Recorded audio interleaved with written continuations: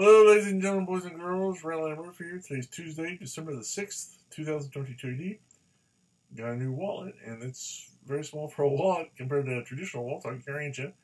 But uh, I'm going to open it up and show you what we got here. So, um,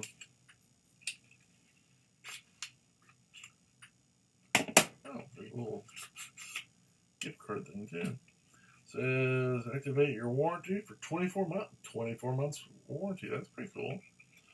And then, uh, okay. That's nice. And this one says VXIA. I don't know what that means, but it's right there on the bottom. I guess that's the company that makes it.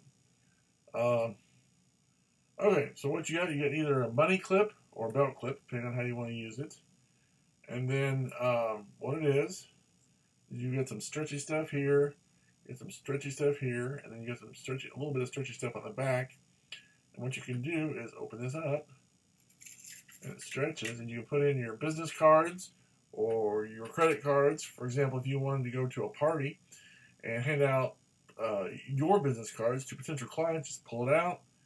So here's a card, put it back in your thing, and so you can uh, have storage for business cards. Or if you're going to use it as a wallet, you got a little money clip here, and you can put in, you know, your debit card, and maybe your ID, you know, whatever, you know, cards you need to carry around for your insurance card, whatever. So it has multiple uses and multiple purposes, and it can be used in different ways. But it looks good, feels good. It's very nice.